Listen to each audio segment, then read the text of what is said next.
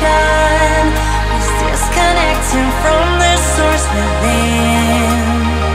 There were parts of my core senseless and frozen. Wisdom hidden, locked up in my soul.